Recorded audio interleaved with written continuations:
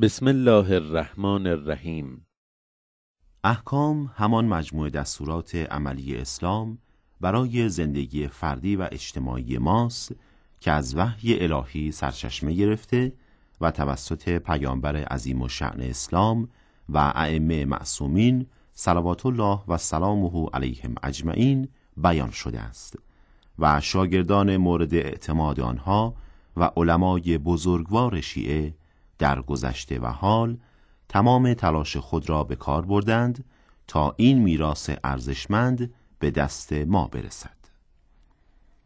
مجموعه نور احکام بران است که با استفاده از امکانات موجود بخش مهمی از احکام مورد نیاز عموم را به تصویر بکشد.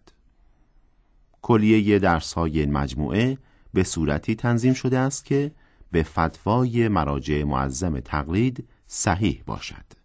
و منابع مورد استفاده نیز در پایان هر درس ذکر می شود